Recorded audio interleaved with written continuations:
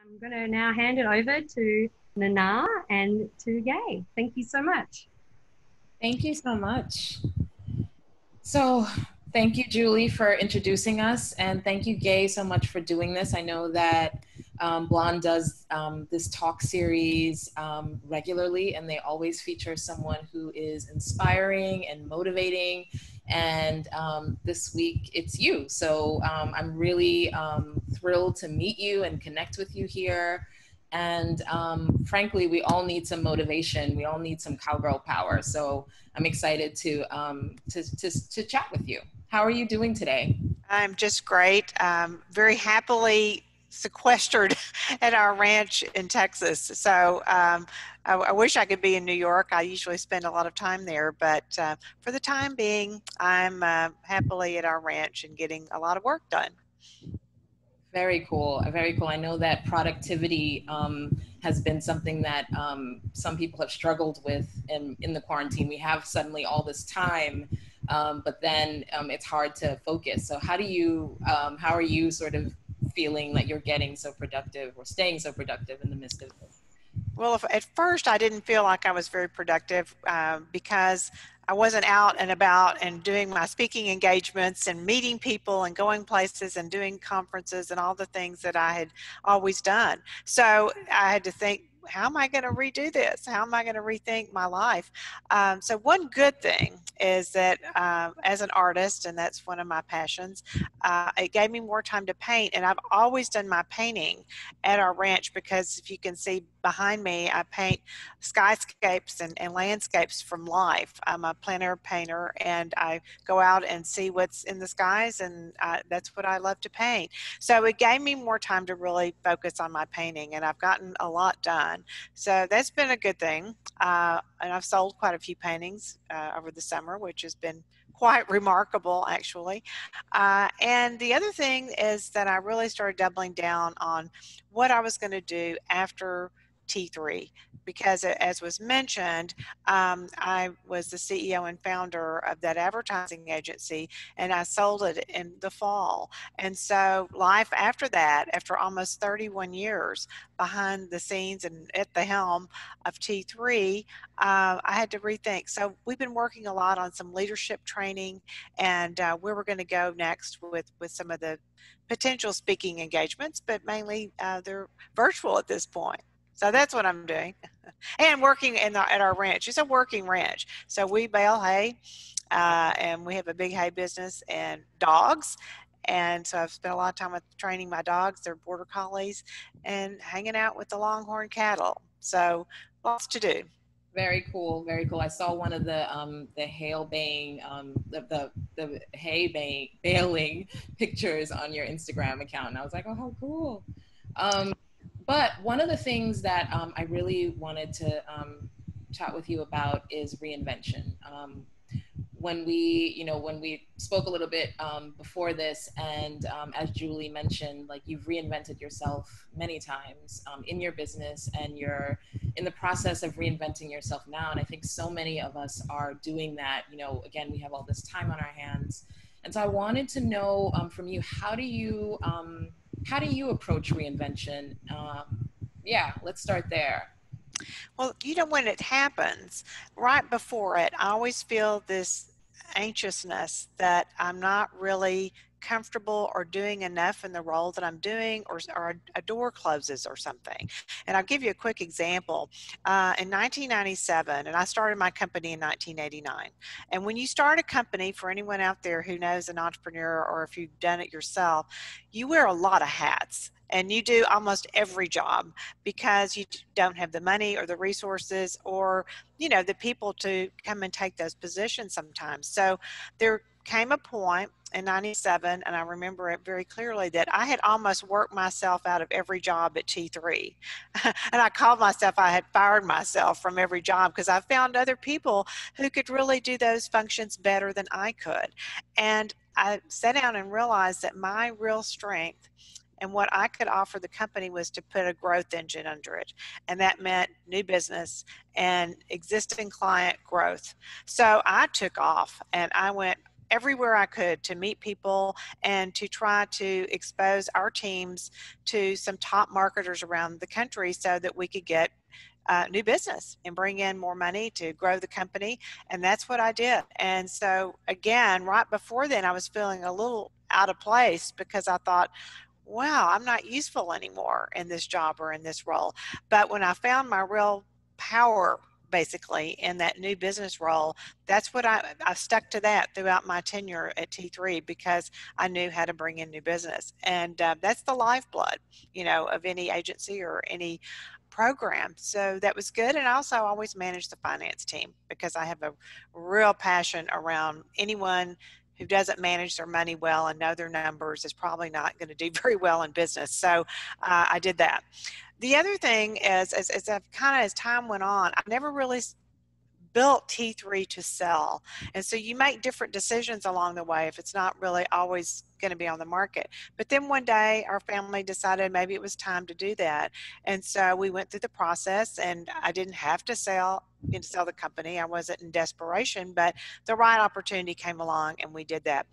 So prior to that, I had already started to remove myself a little bit from some of my roles at T3 again and let other people kind of step up into those and promoted some other people. And that's when I went on my book tour uh, and really was all over the place and gone out of the office talking about my book and speaking to groups. And also with my art, I really doubled down on that. I was so fortunate to land a one woman show in New York at a gallery in Chelsea.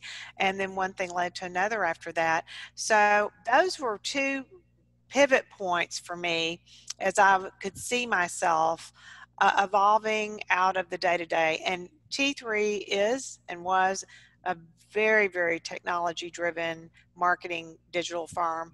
And um, sometimes the AI and the different lines of code that they had to write were over my head. And so I felt like I need to let them do that. And uh, I will go out and come up with some things that I'm passionate about. So that's, that's what I've done.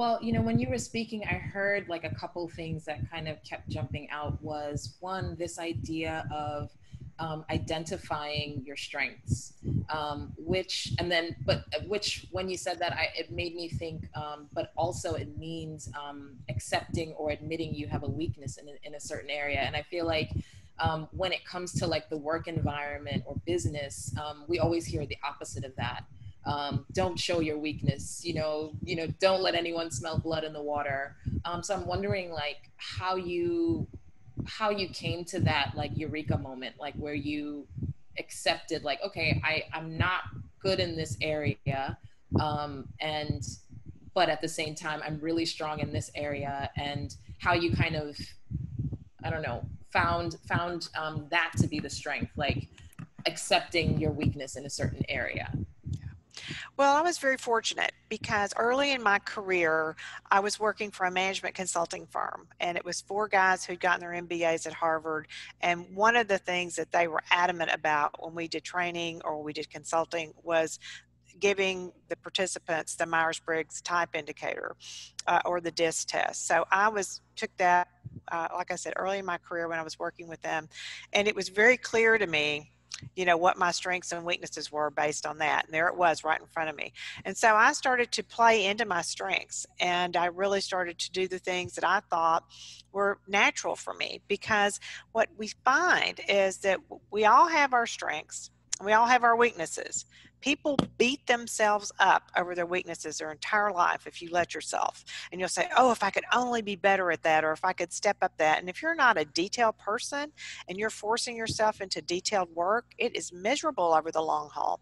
And so i have this little simple diagram sometimes i say where you have your strengths here and you've got a situation and what you want is for those two circles to eclipse because the more you're in your strength zone in a situation you're in, the better you're going to be both mentally, your performance, and everything. And so it's okay. And then the fun thing is when you find those people, uh, diverse thinkers or people who can you can bring on your team, uh, then let them shine at the things they do well. And I always really try to figure out and understand every person on my team strengths and weaknesses so that I could put them in good situations for, for them. But it's something that self awareness is so important, and you just lean in, just jump into those strengths, and absolutely just forget the weaknesses or the failures that you have because you know it's okay and there are other people who can do those things better than you and just admit it and be on with it and play into your strengths yeah, I, I, I definitely agree with that. I can think of a lot of times when, you know, you just kind of like exhale and say, you know what, I can't do this. yeah. um, and the liberation that comes with that. And um, so, yeah, I, I definitely, um, I appreciate that. And the other thing that stood out to me is that when you were talking about just like how you stay productive during this time and um, sort of how you, um, were able to kind of make that um, sort of transition, um, you know, after you sold T3 was you had this other gift, um, which is your beautiful um, paintings. Um, and, you know, you were able to say, you know, okay, well, um, now I'm going to focus on this. Or when you, you know, when you wrote your book and, and you were saying like, okay, now that the business is in, in a certain place, now I can go off and, you know, do my book tour and focus on that. So I wanted to talk a little bit about that and how um, just how where how reinvention sort of dovetails with um, accessing the other things that you can do because I feel like sometimes we get stuck in a certain path um, and it's partly because we feel like that's the only thing that's viable. Um, so I wanted to hear a little bit more about about that. You know, this, those two things were actually something that I was good at as a young person. You know, I, I was a pretty good artist growing up. And so I ended up majoring in art in college. And I look back on that, and that was almost a luxury now to think that I could spend time doing something I was passionate about not having to be a business student or something to go out and get a job. But uh, fortunately, I did get a job out of college. But um, but I loved art and it was something that was always there. But you have to imagine, you know, that once I got in the business world and I have three children, all of the demands and stresses of business and life and family pushed art away. And I did not have time. It takes time. You know, it is a time consuming passion. Uh, and if you're going to be good at all, you have to put the work in. I always say if you're going to be good at something, you know, you got to practice, practice, work, work, work, because that's what it takes to get to a better place uh, and to excel in that whatever it is. So uh, had that bfa in studio art back burner I was always a good writer. In high school, I won awards in the state of Texas for what we called ready writing. And that was where they would give you a topic at a competition and you had to write on it within a couple hours. And then you were graded against all the other participants. And I won awards and trophies for that. So I knew I was good at writing and I knew I was good at art way back.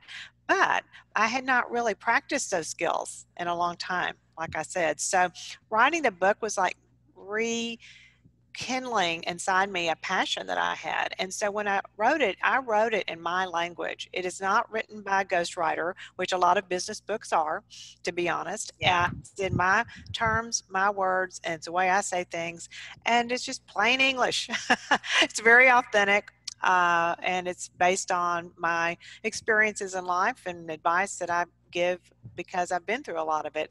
So, so the fun thing was these reinventions for those two things were actually passions of mine that started at childhood. So I advise people anyone listening that if there's something that you were always kind of good at when you were growing up or you loved or you admired then maybe you go back to that uh, it's never too late and say wow if I was good at that when I was 20, then maybe that's something that I should be thinking about today and giving myself that opportunity to re explore in a new way. Because what happens to us, and, and I remember when I was in art school, is that our professors would tell us that this is seen through young eyes you know you're 18 you're 19 years old and what you're producing is is fresh and it's through young eyes if you continue with your art mm. through your life you'll be seeing things from a different lens or a different perspective and that's what i'm seeing in my work and it's even changed a bit during the pandemic because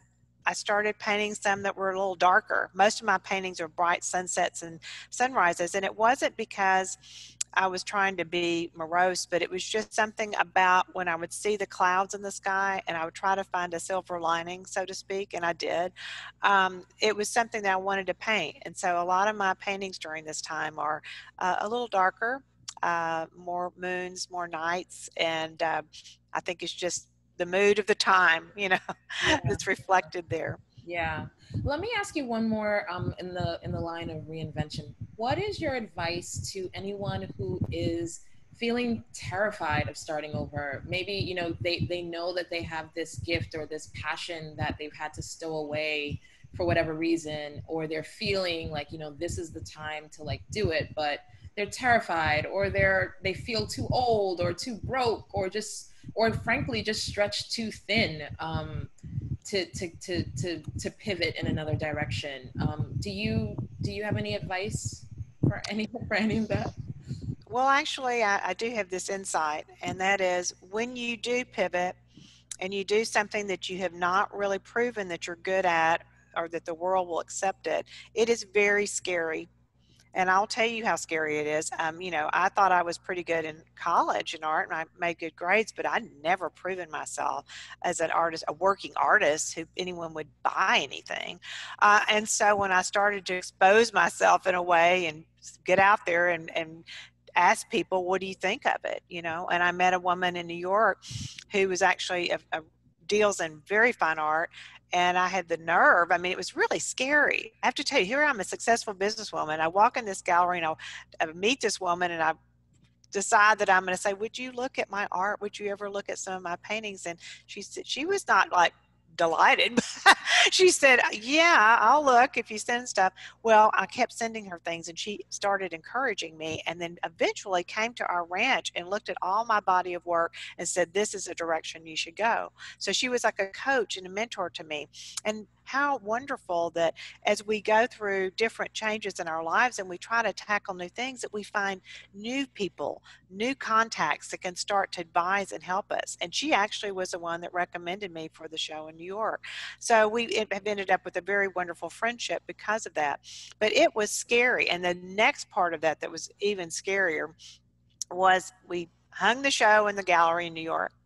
Now I had no idea if we would sell one painting or two or five. I had no idea. You don't know. Once you're out there and you and I say put yourself out there, you're exposed and and it's either going to win or lose. And I didn't know. So very scared.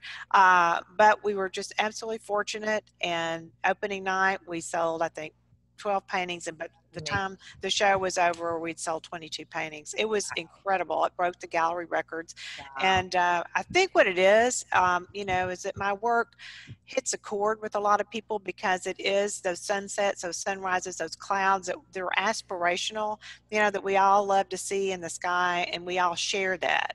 It's a commonality worldwide that we all look up at the stars and the moon and the skies and, and it's just something that's very uh, natural to us all. So that's that.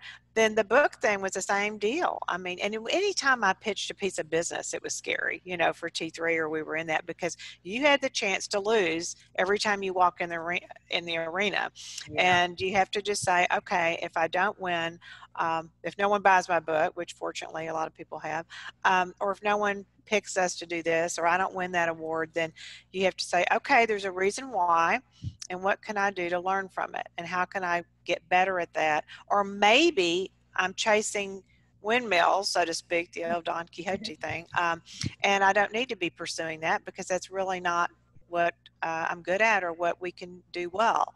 So you have to kind of break off from it sometimes, but always try to learn from a failure because it's there. the teachings are there, uh, and those those are the times that you really get better.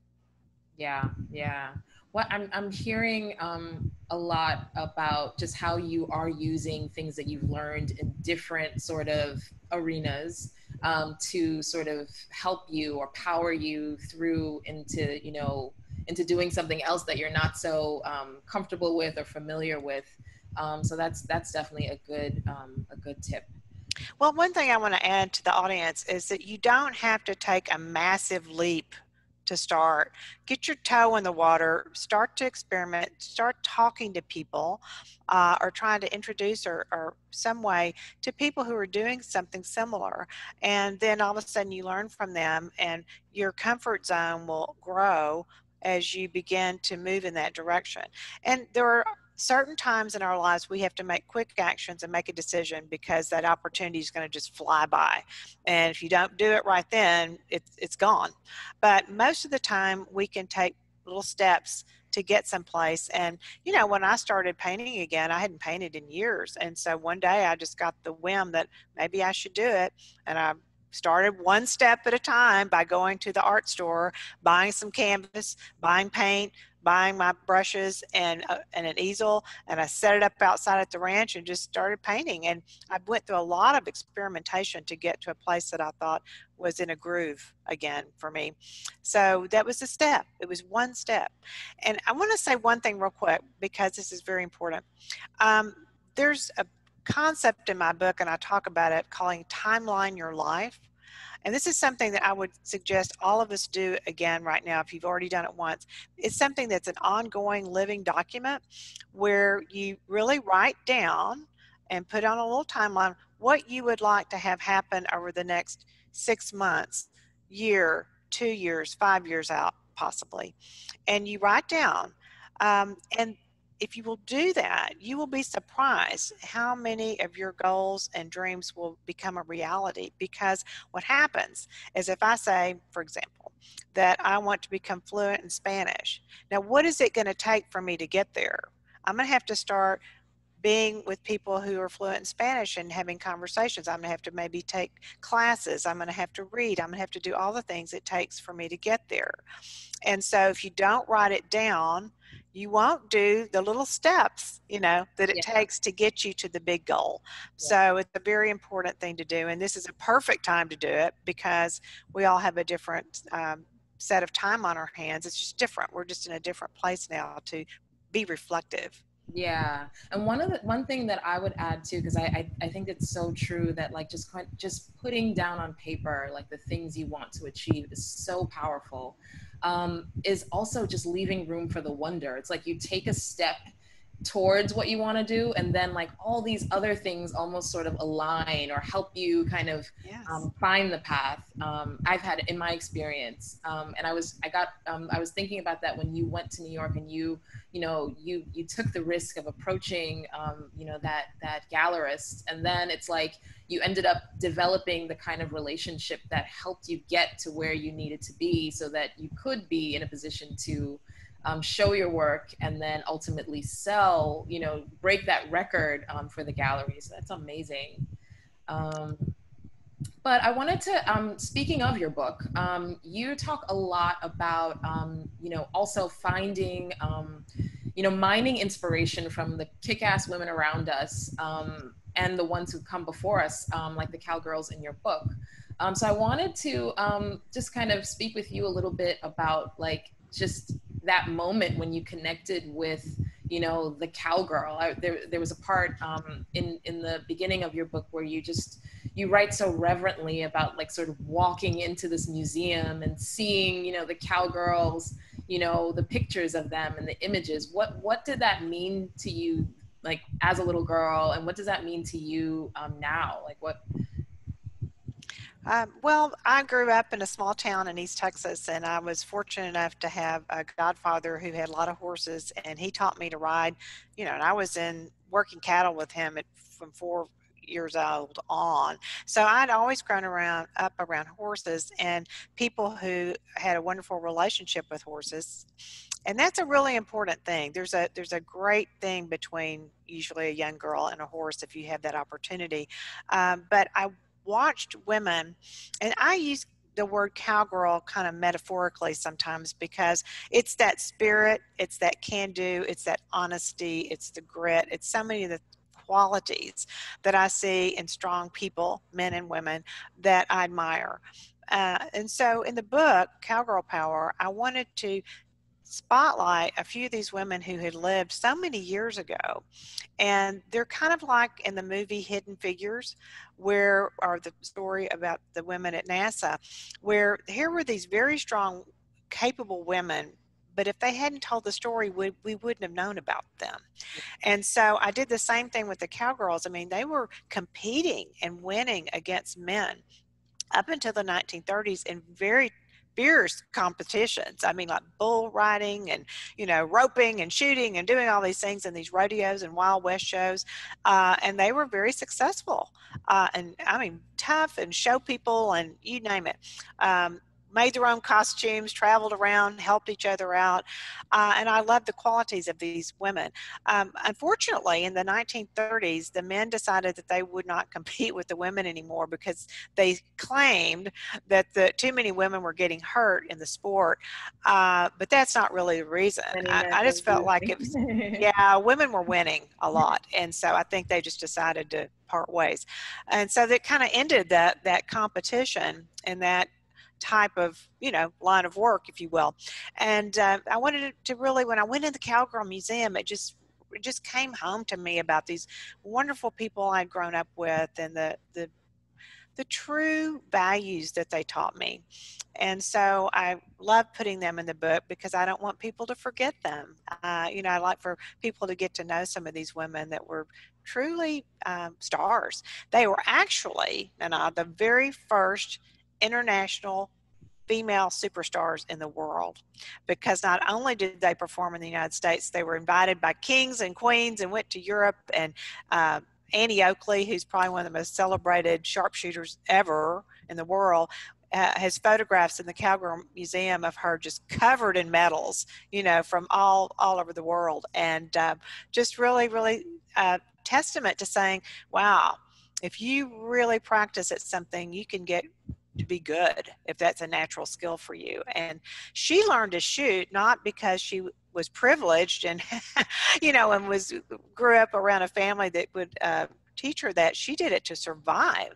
Uh, when she was a kid, like six years old, her family didn't have enough food on the table and her dad had gone away. And so she literally started teaching herself to hunt.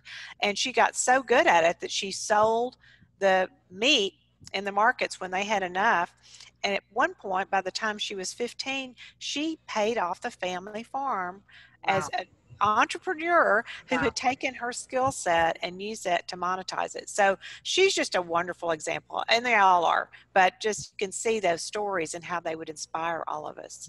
Yeah, I, one of the things that um, struck me is um, you talk a lot about, um, and you write a lot about collaboration teamwork and and and getting that inspiration um, not only from the things that you can do but from other people whether they exist now or you you you tap into the to their stories um, the stories of people who come before us. Um, so i wanted to talk a little bit about um, the leadership um, webinars that you have. Um, uh, and basically they they act as like as a resource of inspiration right for for the people that attend. I just wanted to hear a little bit more about about what, what the genesis of it was. I mean, you spoke about it a little earlier, but just kind of delve in a little bit more. Okay, well, thank you for asking. Um, well, as I mentioned, that I had done and still was planning to do a lot of in person uh, speeches and talks for corporations, for conferences, for individual groups and clubs and all of that. Uh, and then one by one, that was one of the most depressing things to me when we started moving into this lockdown and pandemic uh, was that one by one things were getting canceled all the way out into the fall and so i thought well i don't want to stop giving my message and so you look at what tools are available to us now and so uh, things like this, uh, webinars, opportunities for people to come in from any place at any time, really, which is kind of an interesting twist on uh, the speaking engagements, was pretty appealing to us. So uh, I have a small team. After I left T3, I have two staff members now that work with me, and we are producing webinars. Uh, we are I've done two already, and they've been well received as far as we know. And uh, we have another one coming up uh, August 14th, I believe. We'll check that and put it on the box to make sure the right date. But and it's interesting that you mentioned team building because the last one is about building kick-ass teams. Then we'll do another round of, of uh, talks, but we started with three, and the title of the three webinars, in which they will probably still be the title, is Eating risk for breakfast because that's what I used to always say that I had to do uh, in my life. But this last one is on team building, and I, I don't want anyone to be put off that oh, I don't have a team to build or I'm not managing people. We build teams our entire lives, and it may be a team of a freelancer, it may be a team of bringing in different people, or even in your family, uh, or different types of teams, because we're always surrounding ourselves with people who I mentioned earlier can shore up our weaknesses, or we have a common goal. So it's not just the always a team at the office. It can be teams uh, in a nonprofit you're working on. It can be teams, uh, you know, at a church group you're in or whatever the things that you are passionate about and choosing and building and really motivating people on a team is a, a great mission. Yeah i think um, one of the things when you were saying i was i was thinking yeah that your team is just the people in your life. Um, and if, if you're if you have like people in your life who are cheering you on supporting you who are lending you their resources their time there, there there's so many ways to think of a team um, so so yeah. Well, in my book, I call that kind of team my Rough Riders. Okay. And the Rough Riders are the ones who will shoot straight with you. Yes. They're they're colleagues, their friends, their family members, whoever that you can go to, and they will call BS on you. Yeah. Uh, and it takes someone who really loves you and is strong enough to do that because it's easy just to give someone a compliment or just say, oh, yeah, that was good. It takes time and care to be able to critique someone in a, a kind way, you know, where you're not being snarky, but you're really saying, you know what, you could have done that in a better way, or let's try this, uh, or I, I think you kind of stubbed your toe there, you better go apologize to that person, or whatever, you know, and so those are the people that you really trust and, and ride with you through the storms. And um, I recommend everybody think about who is your, who are your rough riders? Yeah, yeah, I know I have I have some rough riders in my life. I'm really grateful for them. People who listen to very early, very rough drafts of my writing yes. again and again and again. Um, so um, I guess um, one thing that I want to talk about before we open it up to anyone um, in the audience who has questions is um, you mentioned that um, at the beginning of this that you use Briggs Myers to build your teams. And yeah. I love that. I wanted to hear more about that because you, you talked about it um, being exposed to a diversity of thought um, and how important that is to lead to innovation or, or breakthrough. Um, so I wanted to um, hear more um, about why you do that. Yes, well, it's it, it's the MBTI or the Myers Briggs Type Indicator, and the history of it's pretty interesting. It's based on Carl Jung uh, psychology studies, and a mother-daughter team actually developed the, the assessment. And so they put this together through studying through the years and it's been around a long time. It's tried and true. And when i ask people to take the assessment uh, or i learn more about who they are because of that, it really helps me to put them again in situations where they're going to shine. Um, but I've used it in so many different ways, and it's always helped me to ground myself to go back and read read it what I am.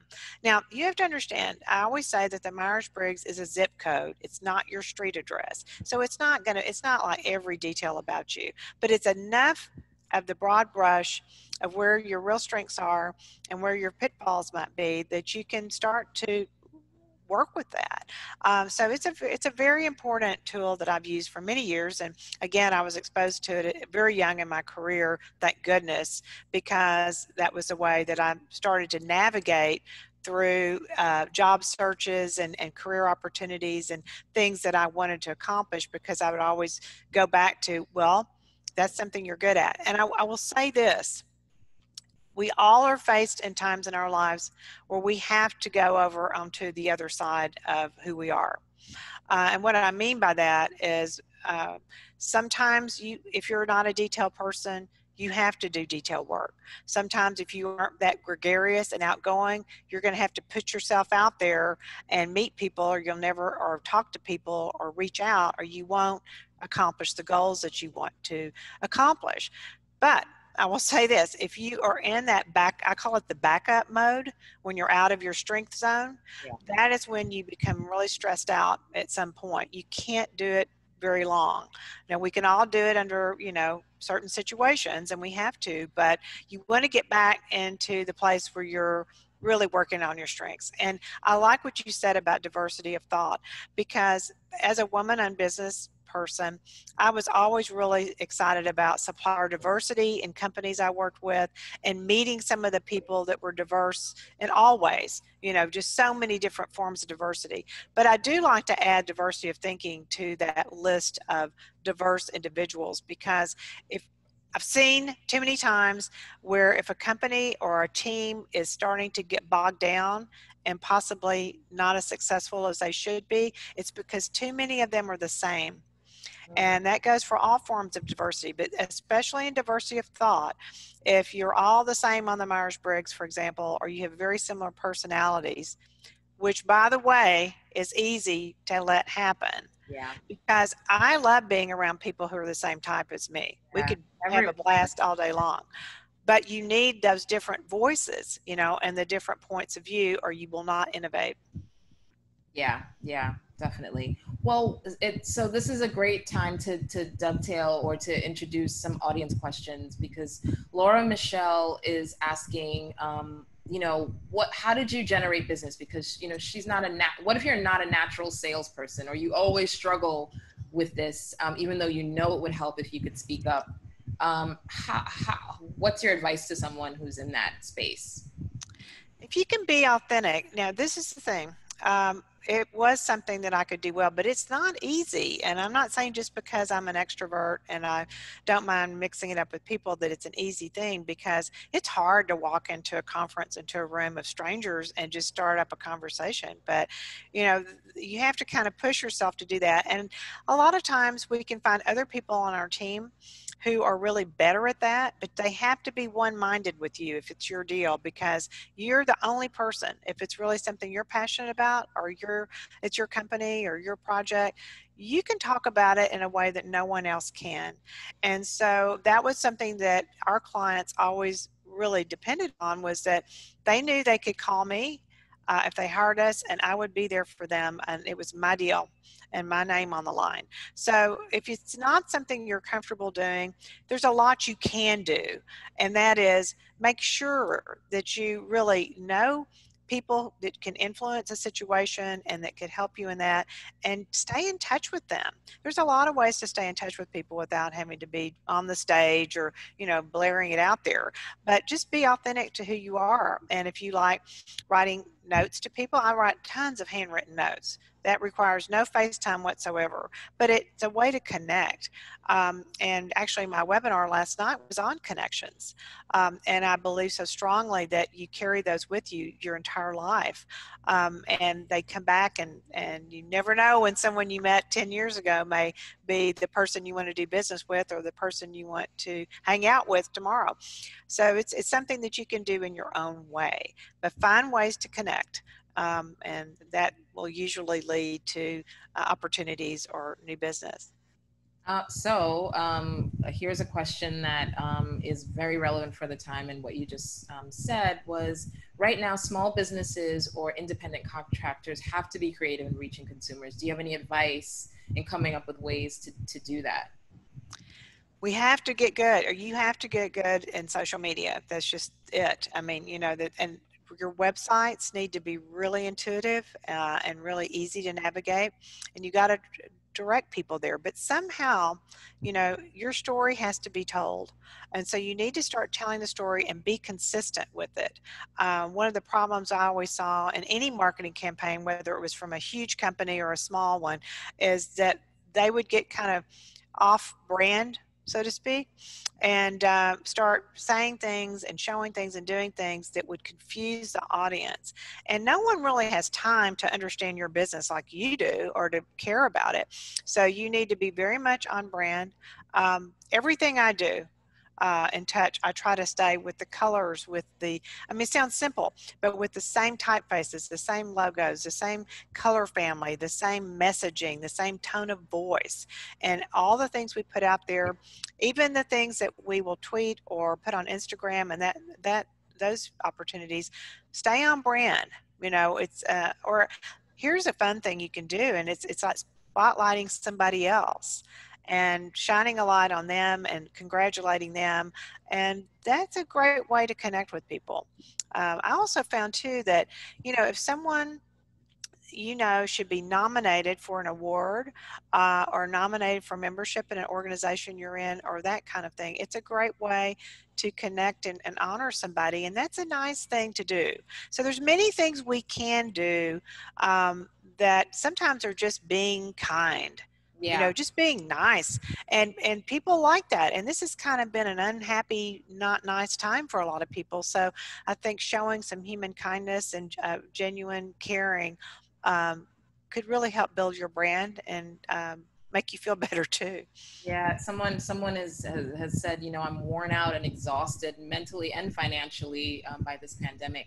How do you pull yourself up? How do you pull yourself up in in the in this space mean, you mentioned that even your your skyscapes are getting darker, um, and it's just reflective of the of the time right now. Yeah, it's you know it's you have to be as resourceful as you can, um, and that's where I, I always go back and say, who do you know, who can help you, who is in your network, or who knows someone who can, and you've got to just literally force yourself sometimes to pick up the phone or call someone or contact someone that can help you or can give you some ideas. Uh, you know, there were many times uh, during my tenure at T3 where, at no fault of our own, we'd be thrown into a recession. Or, you know, for us, a new chief marketing officer would come into a company and decide to bring his or her team, and we would be out.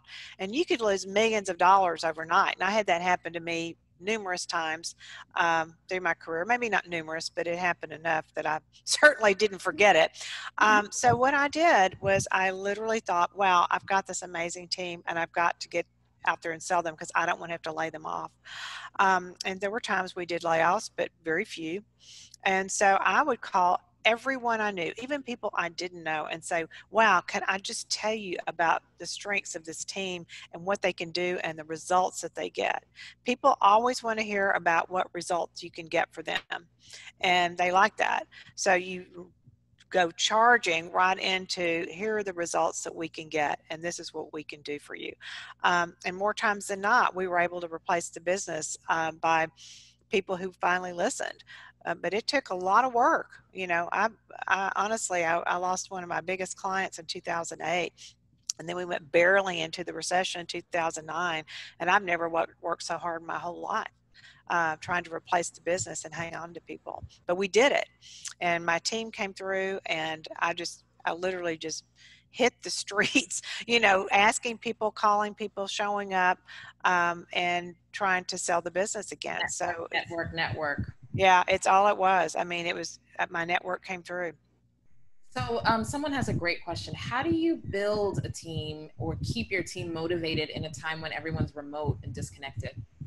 Yeah, this is especially hard, I, I think, because um, mainly for us and for in my career, a lot of the collaboration and just bumping into somebody at lunch or in the coffee, getting coffee or down the hall or walking by someone and peering over their shoulder and saying, "Oh, what are you working on? That's really cool, uh, and maybe we could try this or that." And that's the kind of collaborative environment that I built to increase innovation. So we have to work extra hard now, and uh, being seeing each other on a screen and, and doing it this way is at least a way to stay connected thank goodness we have this. Yeah. Um, or it would be really rough if it was just phone calls and conference calls and that sort of thing with no FaceTime. So um, I do think you have to work extra hard uh, to keep people motivated, but find those things that they're doing well. And this is a time where you have to go out of your way to thank people and reward what they're doing well. Um, you know, they need that pat on the back. They need that encouragement. And so find what they're doing well and really raise that up. And you know, when I, what I would do in person actually is when we had staff meetings, if someone had done some great work, won an award, or just done a kind deed or done something interesting for the company, I would recognize them and we would all stand up and applaud them. You can do that virtually. Yeah. Uh, and I think that's so important because what it does is it teaches the rest of the team what is appreciated and what is rewarded and who gets promoted and who gets a raise and all those things. And so then they will emulate that behavior. And that's what you want. You want to hold up examples of what you think is stellar performance. Yeah. Another question that I wanted to talk about um, uh, that's here is diversity, um, diversity for people of color, um, because there's diversity of thought, which I think we all bring. Um, but then there is the, you know, there is the fact that you know when you're coming from a different background um, ethnically or racially there are all these other things that come along with it and i wondered how you addressed that um, when you were at t3 and um, what's your advice um, to businesses now especially in this moment where everyone's you know really like focusing and thinking about that which is great um, yeah. racial justice and equality Absolutely. Yes. Well, you know, first of all, but by being a woman, you know, I felt like I didn't realize it until I was talking to another group of women lately um, that have been CEOs and we're kind of a support group for each other. Um, that wow, we did we did some of that breaking through, you know, and now it's our turn to look around us and say, who maybe needs those new opportunities? Who out among us needs to break through?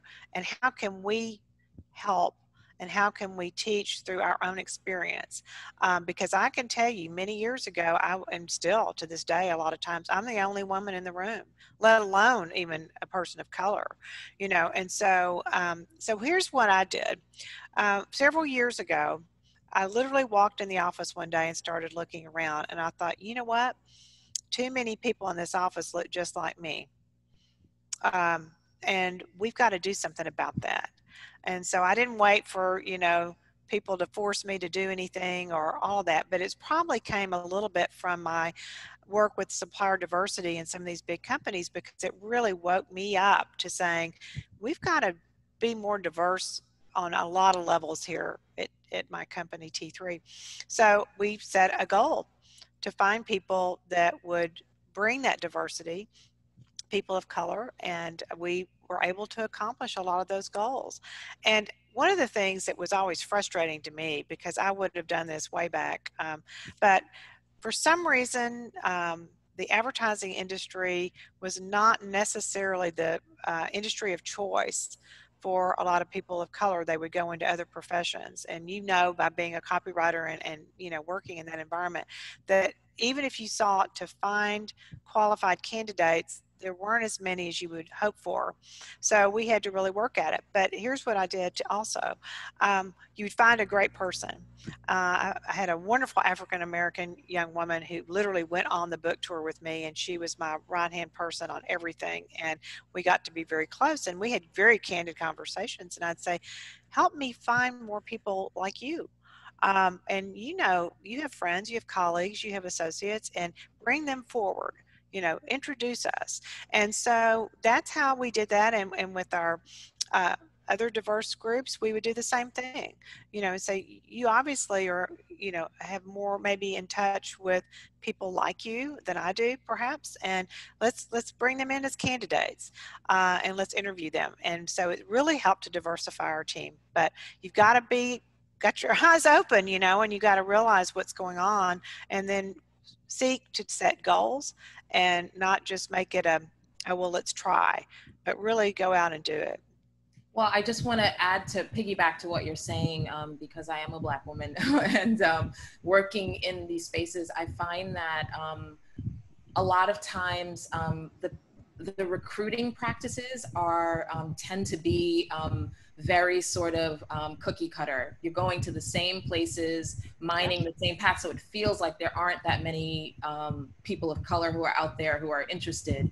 But I think it's it's about um, you know figuring out new places to go and recruit mm-hmm. people, figuring out new methods. And I know for myself when I was in um, you know, working um, in in different um, corporate spaces in, in the ad world, um, being alone um, you know, you would often hear certain things, or there were all these little cues in the culture that even though no everyone was welcoming, but they're little cues that make you feel like if I have to to to pull back on my personality or pull back in some way. And so I, I, my advice to anyone in that space is to actually double down in being yourself because I found that um, ironically when I became a freelancer, I felt so much freer um, because I, I didn't feel the same constraints of having to climb a ladder. And in doing that, I feel like I produced some of my best work um, because I, I felt this freedom to just lean into who I am so anyway. No, that's really great advice. And uh, I'm really glad you spoke up about that. You know, again, dialing back to my own experience, uh, my first job out of college, I was the second woman that had ever been hired in that company in the wow. creative department, wow. second in the history of the company. And it was a boys' club yeah. supreme. and honestly, I only made it in that job for nine months. And I think that's because was the reason. It was very intimidating to me. Um, and I won't go into why, but it really was. And I'm not easily intimidated, but that one got me. And so I can certainly appreciate uh, when you're one of few or you know kind of the lone person uh, in an organization that it's hard um, and it's, it's really kind of difficult to uh, not feel like you're somewhat pushed aside and, and so it's really an interesting dynamic but we all have to work so much harder at this and uh, make people feel a part of the teams uh, go we have to kind of go out of our way is mm-hmm. what i'm saying right now. It's not something we can just continue to say well that's just the way it is you know we have to be diligent. Yeah it sounds like you're i mean that's what the cowgirls did. They you know they pushed through. It wasn't it wasn't that they were welcomed but um, in spite of they they they they forced their way in. Uh, so yeah, and many times against their parents' wishes as well. yeah. A lot of them, their parents had great aspirations for them, and they sent them off to boarding school and everything. And they and several of them escaped and just joined the Wild West show. So you can imagine how the families felt about that. But yeah. they were they did their own thing. You know, they went if they were passionate about something, they just followed their dream. Great. Well, we have, I think we have time for a couple more questions. And one that came in um, is why did you start your own company? Well, that's I'll try to make this story as brief as possible. But th- this was started, T3 was started in 1989. And for anyone who's old enough to remember, or if you know history, that was a very, very deep recession time. Uh, Texas was particularly hurt, and I was working in Austin, Texas. So I wrote a business plan uh, in this company I was working for, and I made a fatal mistake, and that is I tried to bring people along you know, on what we were going to do to turn the company around. But I forgot one person, and that was the president. And so he read my business plan and said, I don't agree with you, and I'm not going to support this plan. So I got mad and humiliated. And about 15 minutes after that, I walked down the hall and quit. And I didn't even know what I was going to do. Uh, but I had to figure it out pretty quick. So I cashed in a $16,000 IRA and went off and incorporated and had to start a business because no one would have hired me. No one had any jobs. And so I just said, well, I guess this is my time. I'm going to have to do it myself. And I did believe in my business strategy and my business plan. And so I put it in practice. And that's why it happened. It wasn't that one day I was very happy in my job and I was sitting there thinking, oh, wouldn't it be great to start my own agency? Because that's not the way it happened. It was almost out of necessity.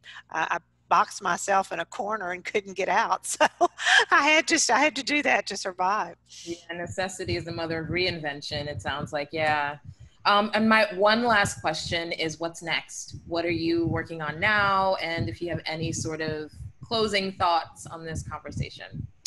Yes, I'm, there's maybe another book in the works. Uh, I'm making sure that it's uh, I have enough relevant content, um, and so that's kind of on the back burner. But I really am focusing on teaching leadership traits and uh, leadership know-how.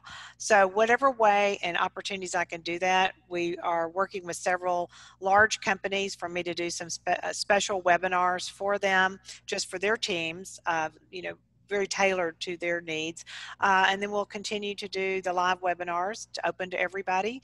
Um, and beyond that, uh, I would like to put in a, a, much more, and we're working on this too, uh, a much more focused leadership program that would last over several months for some individuals. So uh, I love seeing people step into these leadership roles.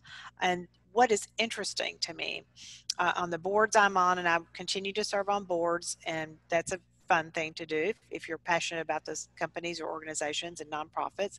But I'm seeing people who are all of a sudden who weren't maybe placed in a leadership role and they're not managing people, but all of a sudden now during this crisis, they've stepped up and really shown the true leadership ability that we're all seeking in our organizations and companies and those are the folks that I get so excited about because um, I'd love to bring them in and say, okay, if I could just put some jet fuel, you know, underneath you and you'll jump ahead much faster.